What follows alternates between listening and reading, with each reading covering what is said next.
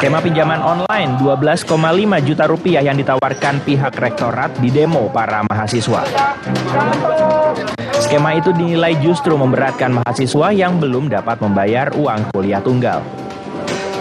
Mereka diberikan pinjaman 12,5 juta untuk kemudian dapat membayarkan pada rentang waktu 12, 12 bulan. Itu sebesar 15,5 juta rupiah uh, Bapak Ibu sekalian yang mana itu berkisar pada kisaran 20 ini sangat memberatkan kami telah mengusahakan ragam advokasi lainnya namun Bapak Ibu Rektor masih belum mendengar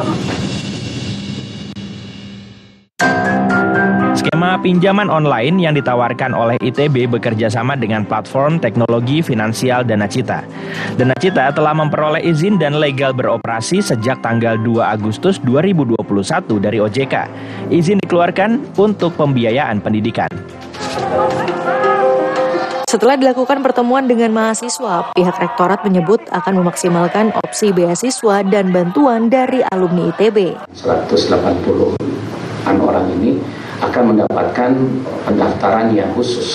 Karena memang pendaftaran kita kan sistem agak sulit untuk di back, uh, backdoor ya. Karena kita sistem harus jalan sehingga memang uh, kita tunda pendaftarannya. Tapi itu adalah kesepakatan uh, yang sudah disampaikan di uh, pertemuan rektor dengan mahasiswa. Dan istilah uh, kemarin permintaan uh, mahasiswa terkait dengan istilahnya pinjol ya itu sudah tidak ada lagi tidak di uh, tidak di Muncul opsi tawaran skema pembayaran dengan pinjol. Ditegaskan bukan untuk mahasiswa kurang mampu.